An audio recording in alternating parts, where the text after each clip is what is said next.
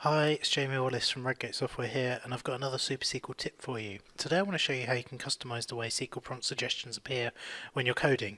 Uh, by default, SQL prompt shows you the auto completion box whilst you type. In fact, whenever it thinks it can make a useful suggestion, it'll pop up. So let me just open a new query in SSMS here, and uh, when I start typing, you can see these helpful suggestions appear.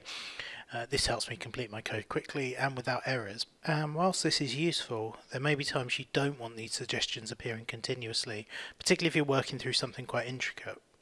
So rather than turning off suggestions completely, the best way to manage suggestions is to limit when they appear or make them appear on demand. And it's really easy to do this. What you have to do is go to the SQL prompt menu and open options. You'll see the suggestions section here has settings for behavior.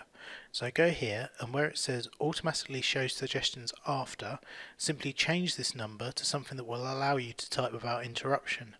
So I'm going to go for 5000 milliseconds and click OK. This means that when I start typing, I can type continuously without interruption. But if I do want SQL Prompt to give me suggestions, then all I need to do is pause typing for 5 seconds and I'll get the box pop up as normal. Alternatively, you can change the settings to only show suggestions on demand. So go back into uh, SQL prompt options here and just untick automatically show suggestions, uh, but keep show code completion suggestions ticked. So then when you go back to write your code, you can do so without any interruptions. But if you do want a suggestion, all you need to do is press Control and Space to show the SQL prompt box. It's that easy. I hope you find this quick tip helpful. I'm Jamie Wallis from Redgate Software. Thanks for watching.